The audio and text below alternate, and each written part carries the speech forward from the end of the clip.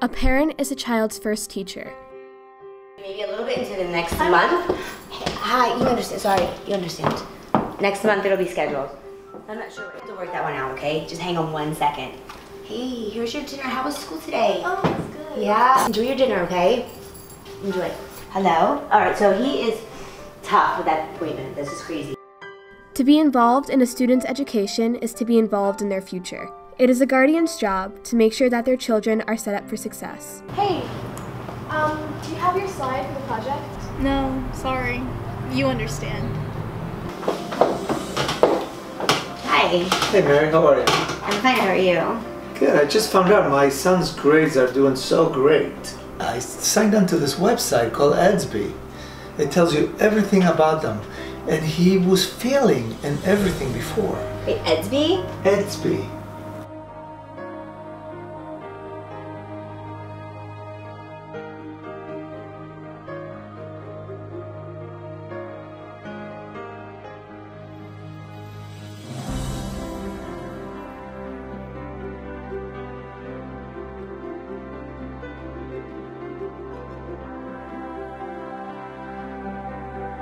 Parents can even reach out to teachers to further understand what happens in the classroom and how they can help.